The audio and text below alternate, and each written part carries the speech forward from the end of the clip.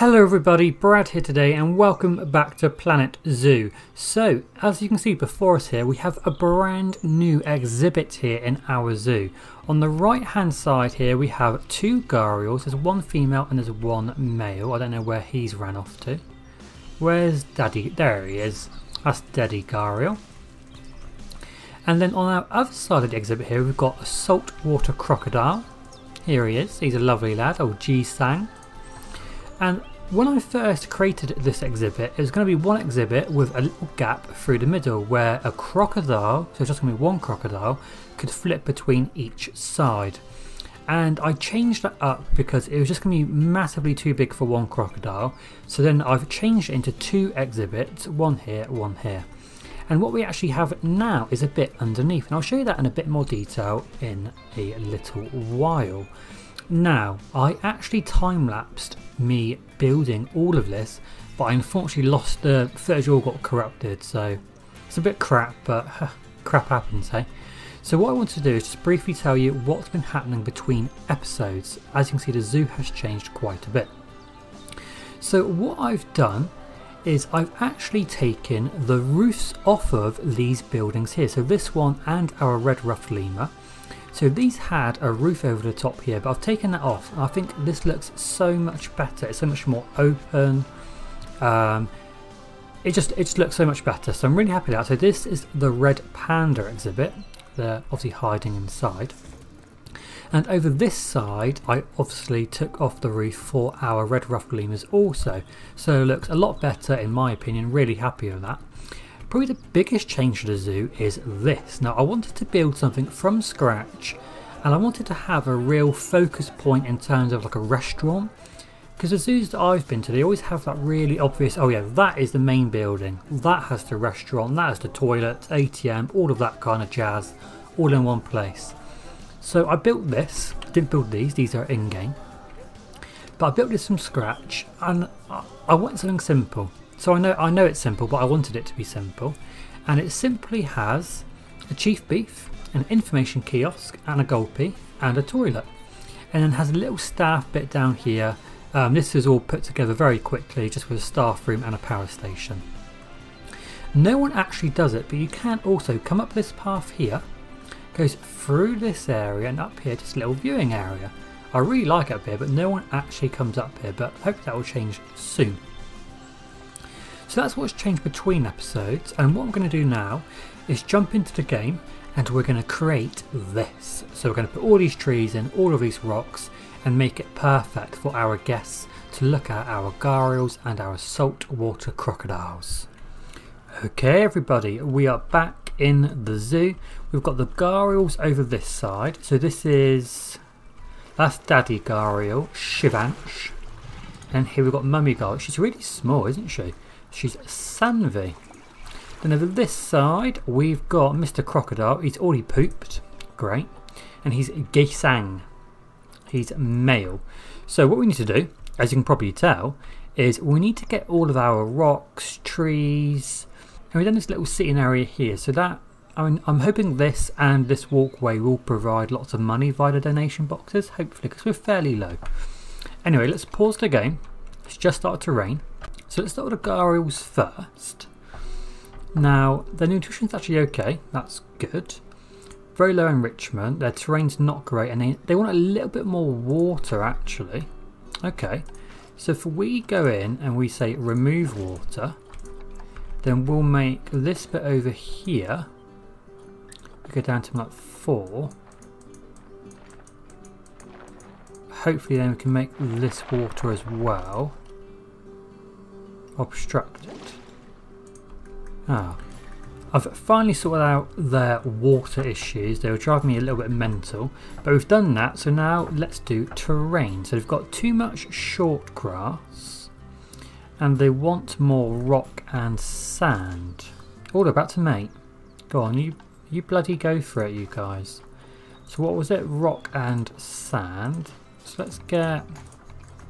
If we do rock around our little lake. Does that makes sense? A bit like that. Then I think they wanted sand, so get some sand up here. kind of go a bit patchy. I don't know how much short grass they want. If they want all of it gone or just some. So let's do that. Okay, so terrain is also 100%. So now it's enrichment. It's enrichment, plants and rock. We can do that. So let's do the enrichment first. So we're here on Gharial already. So let's get a rubbing pad. Let's try and get that right there. Get one there. So then guests can really see them using that hopefully. Get in a ball. There's an ice ball. Getting a sprinkler. Getting a sprinkler somewhere like... Um, let's get that in maybe up there. Getting a water pipe. That way they always have access to clean water. There we go. That looks good there. Let's have that there. What else would you like, Mr. Gharial? Species food enrichment. Do we have any food enrichment for these guys? We've got a mud bath. I assume that doesn't count, but we have got a mud bath. I should probably check that these guys can't get out as well. All good? Yeah, okay. Perfect. So they actually want some species food enrichment, which we can definitely do. So let's make sure that we prioritize that. So let's get someone on Gharial and someone on saltwater crocodile. And then we can go around and kind of just think about rock where how we want to kind of have this habitat look. So let's just get some rocks in. Um, and we'll think about plants and what we want to do with our planting. Let's get some rocks here as well.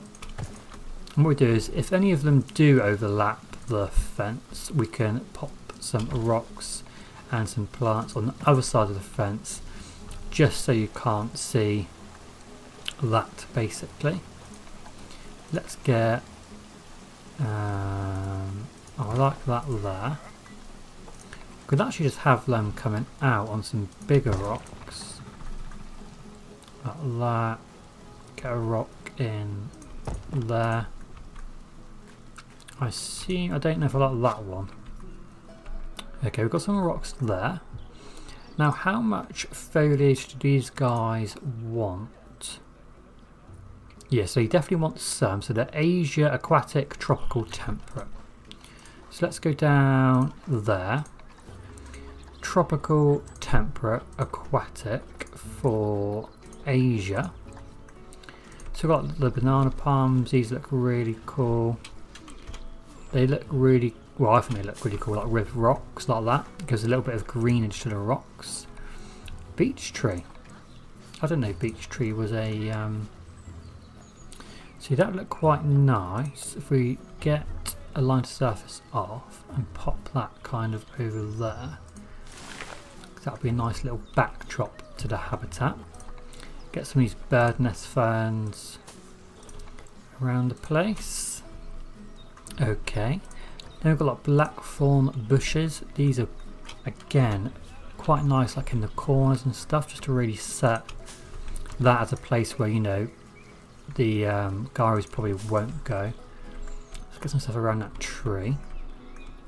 Okay, now, hmm, do we get the infamous cherry blossom in? I, ne I never know with cherry blossoms because sometimes they look absolutely stunning and I know it's just me and sometimes they can look pretty bad. So I would like to get some in because you know the pink really stands out and it does make it look really awesome. Let's get some lilies in. So that is actually enough for them, like they're pretty happy with that. I feel we need to get a few more bits and bobs. Get like a rose bush over there. What else could we get in? Himalayan birch, they look really cool. So let's get some of them kind of going into the water. So I really like the look of them. I quite like that. It's really simple, but it works. And I quite like that. Simple's always good. I like simple.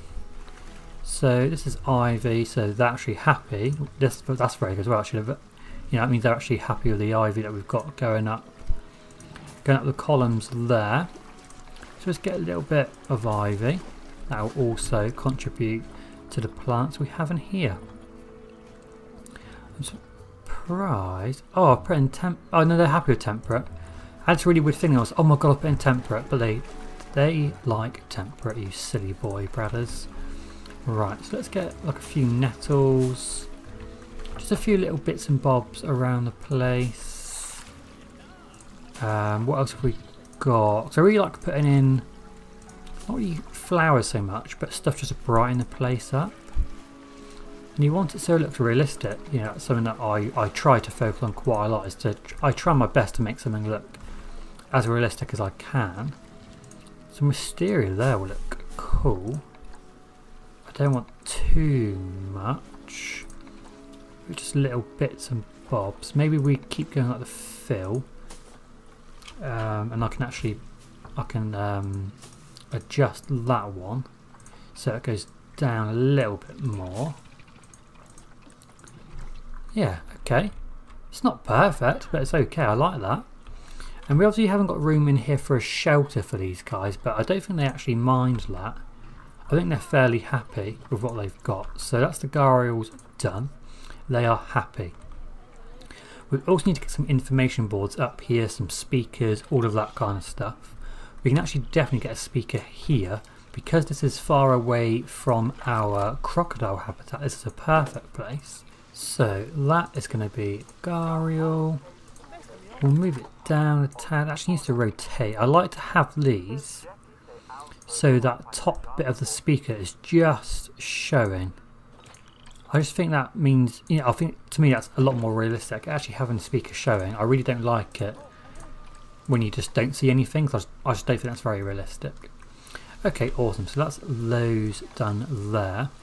Low welfare, yeah, no, we're gonna we're gonna come to you now, bud. So we'll leave it on play. He's actually hungry as well.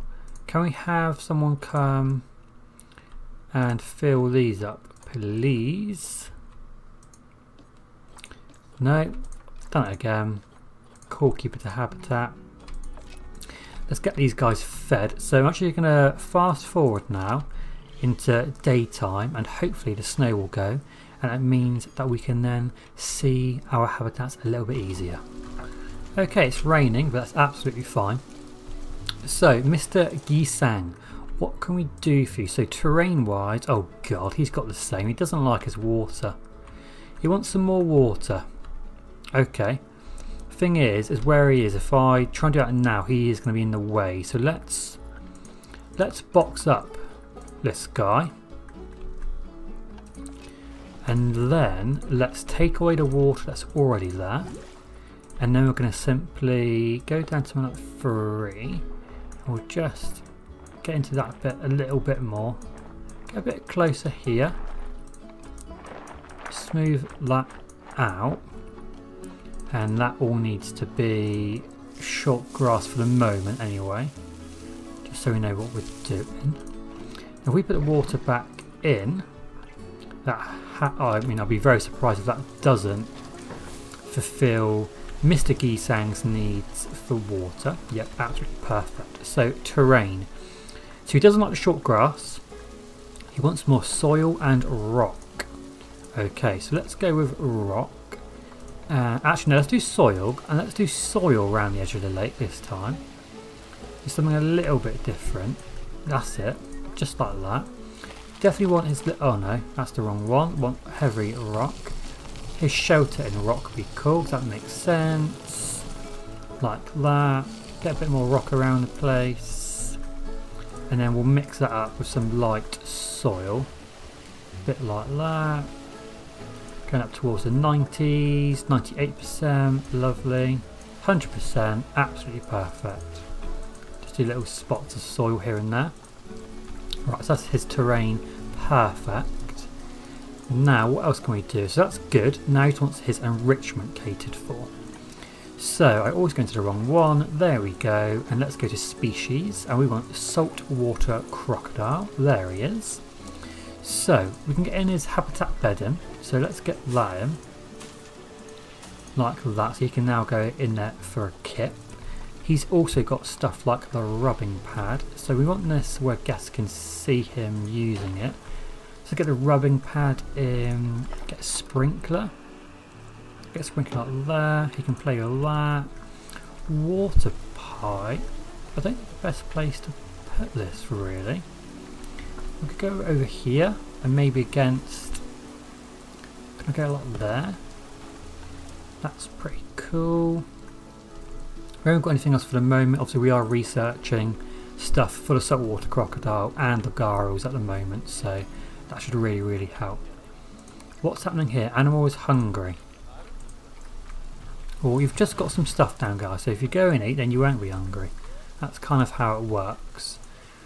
So, Mr. Gisang, what can we do in terms... You don't like arrow, wood, arrow... Oh, if I can speak, arrow, wood, bush. Which I assume is that one. Let's move that out of your way. And how are you now? Yeah, you're actually good. Like, you're happy with that. So you want Oceania, Asia. Oceania, Asia. Tropical and aquatic. Tropical, aquatic. And we'll just get a few bits out, like the common reeds. I like putting the reeds in these lake areas. Sorry, did I just make them get moved? Sorry, um, Mr. Crocodile Man. Okay, what else can we get in? Get a few. Oh, I don't know if I like the coconut trees or not. I don't really think I do. Get a few plants in. What else have we got here? Custard apple tree. That looked pretty cool in the corner. We're not getting kapok tree, Brad. We're not getting the kapok tree. Let's a few more trees over here like in this back bit. Just to really fill it out Fountain bamboo. Yeah, that's pretty cool. What else have we got then? I don't want to put too much in he's fairly close already to being a little bit unhappy at how much is in here. So, I don't know if I like that there. Let's get a few bits in. I like that. And then we'll end it with a few little lilies and little bits. We won't put too much in because we don't want to make them unhappy at the end of the day. So there we go. So is he okay? He can move. Is he going to move around? Yeah, there you go Mr. Gisang. I hope you like your habitat. And we also need to get some paths over this side do similar to what we've done there. VIP guests? Hello, Lauren Jones, and apparently I'm also here. Okay. Well, we've got three challenges. What are our challenges? Education of red panda, release one animal into the wild, and two exhibit species. I think that is what I want to do next. I think next I do want to get like the exhibits in, like a little reptile house or something. I think that'd be pretty cool. So, pathways over here. If we get that one in there, we'll get that going straight. Then we can align to grid. Go to that one. Let's have a grid like that. And then we'll connect that with this path just here. Like so. Then people can also come over here, have a little look at what we've got, have a look at our crocs. Let's put in some benches like so. We'll put in a couple of bins. Now we do have some flowers over there, so we can maybe put in, if we go to construction, put in planter, I'll pop in a planter right in the middle there, and then we'll put some flowers in that. Let's get rid of all of them. We'll pop in maybe those. I quite, I quite like them. Let's put in them. Gives a little bit of colour there.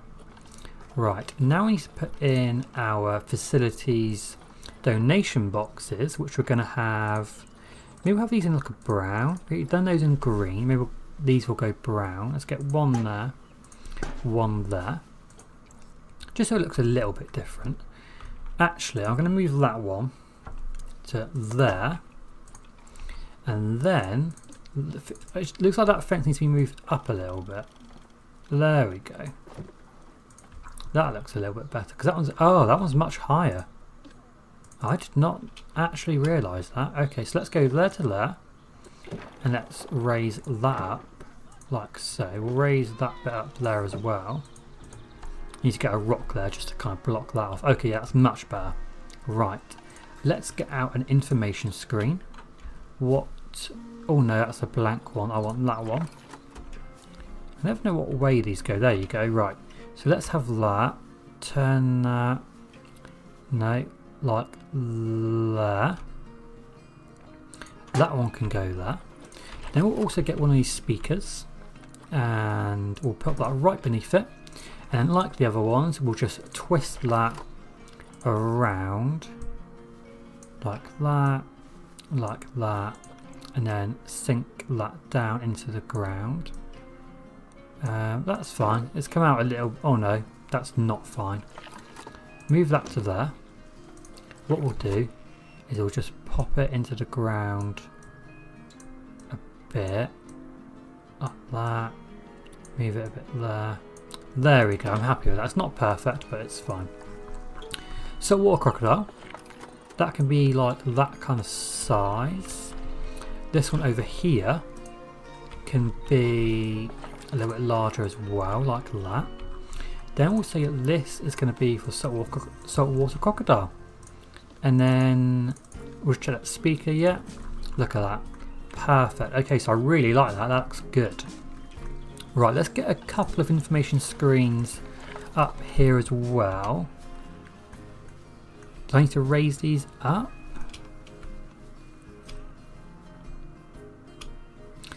So let's get one there. We're also going to get one what way round? I think it's that way round. So get one there and here. What kind of height is that? Like there. Oh, bloody wrong, wrong way around. Right, that one's saltwater crocodile. This one here. Can I just move the actual TV? And then move it like that. There we go, easy peasy. Saltwater crocodile. Perfect. And if we switch around, we'll get some for Mr. Gharial. Well, and Mrs. Can't forget the Mrs. Right, let's raise that up. Needs to be like there. And we'll get these. Well, we'll get one there. Then again, we'll do the same thing. About there. Oh, and we'll get one of those a bit more down this way, maybe there. How does that look? Yeah, perfect. Right, so that is Gharial. That is Gharial. I hope you enjoyed the episode today guys. Please tune in next time. I think we're going to have a go at trying to build a reptile house. So we'll have a go at that and in between episodes I will fill out these green areas if I remember and just make it look a little bit more cluttered shall we say with some foliage. So have an awesome day and I'll see you again very shortly in the next episode. See you later! Thank you very much for watching the video guys, I really hope you enjoyed it. Please consider giving it a like and subscribing to the channel down below if you haven't done so already. And please feel free to follow me on Facebook, Twitter and Instagram. Have a great day, see you later.